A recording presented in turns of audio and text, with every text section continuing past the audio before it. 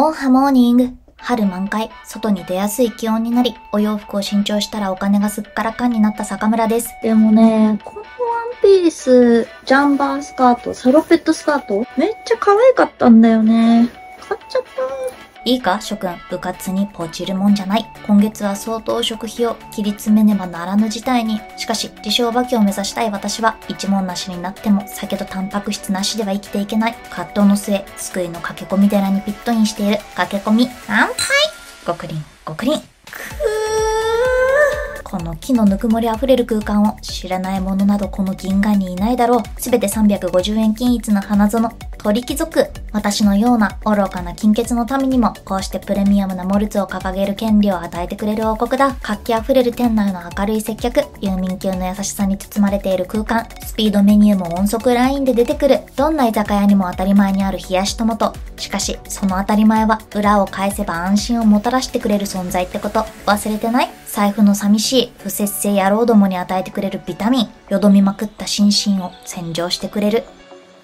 隠れた名作、白ネギ塩昆布は印象を加速させる劇薬。生のネギってそのまま食べると辛みが気になって泣いちゃったちいかわ状態になることも多いけど、塩昆布と手を組み、二つで一つになることでダブルの宝だと、鴨島のごとく世界一の酒役者となる。ごま油も程よく効いていて病みつき、焼き鳥に乗せて食べても美味しいらしい。のっけからこんなあれ余るほどの隣人愛、甘やかされてしまって良いのでしょうか。おつまみ貴族たちからの施しを受けながら、カレーに1杯目を監修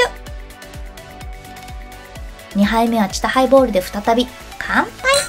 ザ王道の角杯もいいけど、一力の時は軽い飲み心地のチタ様を指名しがち。特に平日の昼間なんかに日差しを感じて酒を煽りたい時には、ほのかに甘くて爽やかなサイレントの桜そうくんのようなチターが染みる。つまみの主役たちも指名しないわけにはいかない。焼き鳥なんて何度あってもいいですからねと、ミルクボーイも言っているので遠慮なく食らいつく。店の代名詞でもある桃貴族焼き。十分に焼かれてボリュームのあるもも肉とネギに、創業当時から守られてきたという照り焼き風の甘じょっぱなタレが絡んでアカデミー最優秀焼き鳥賞受賞。この日はタレを頼んだけど、ピリ辛のスパイスもハーブが効いていておすすめ。日本でたったの350円。たかが焼き鳥屋で世の中を変えたいというお店の心意気がこの一口から伝わってくる。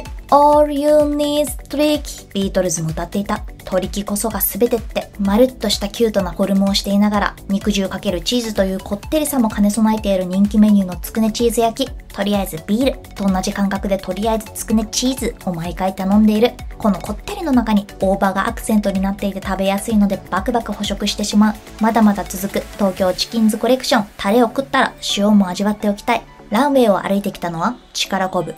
サルト。力こぶってのは手羽元、翼の付け根の一部分、身がしっかりしていて弾力がマキシマム。柚子胡椒につけるとさらに爽やかさも上乗せされて幸福だ。あたかも焼き鳥を食っているような面をしてこっそり頼んでいた。牛串焼き。鳥を食いに来て牛なんて浮気だ文春砲を食らってしまうかもしれない。いや、しかし待て。皆の者、落ち着いて食してみて。甘いフルーツとガーリックに効いたタレの絡んだ柔らかく繊細な牛は、一口食べたら五臓六腑をわしづかみされてしまうんだから、手羽先と並んで圧倒的に肉を食った感じがすぎょい。学生の頃からついつい衝動買いしては、よゐこの濱口のごとくサバイバル生活を幾度となく強いられてきた。コツコツ貯金できる人へのリスペクトとロマンティックが止まらないんだな。この貴族たちの宮殿はコスパの良さだけでなく、ファミリーでも来やすい治安の良さも提供してくれる。どの店舗も大抵広々としているので、犬神家からエグザイルトライブまで、どんなご家族、親族一同が一斉に押しかけても喜んで受け入れてくれるだろう。居酒屋飯のお供としては、比較的ニューフェイスの翠ジンソーダ、柚子と緑茶と生姜と和の素材がギュッと詰まっていてみんな違って、みんないい。健康志向の人にも大手を振って勧められる。ジンってもともとバーとかでたしなむ人が多かったんだけど、これは山奥で修行を積んで食事にも合う姿となって私たちの手元に現れてくれたんだって。昼下がりから心身満たされつつあるデイ。このまま帰ってゆったり気絶してしまおうか。いや、お前と仰せを交わさずに帰っていいわけがない。ふんわり、山芋の鉄板焼き。先祖代々、全然前世から坂村家が最もリピートしてきた取り木メニューで、たびたび密会を重ねてきた。もんじゃ焼きっぽい食べ応えが癖になる。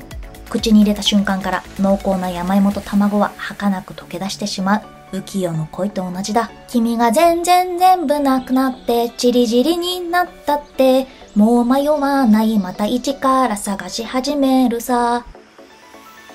ちゃっかり揚げ物にも寄り道したくなってしれっとカマンベールコロッケも頼んでいた。カマンベールクリームチェダーと田舎のおじいちゃんも喜ぶ豊作っぷり。もちもちでとろっとした食感がたかがサイドメニューといえど侮れない。そしてここでもう一つ仰せを交わさずにいられないのがミックスジュース。乾杯!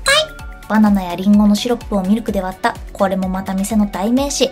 脂身辛味メニューが多い中に一筋差し込む甘み。全ての人間の舌を満足させにかかっている紀元前ローマのカエサルは死の間際に行ったらしいブルータスお前もミックスジュースを飲むのか坂村はチェーサー的にごくごくすることが大志だ。お金のない時ってひもじい思いするけれど、そんな時にやっとの思いでたどり着いた食事ってかけがえのない思い出になることもある。寒空の下でハフハフしながら食べるカップ麺。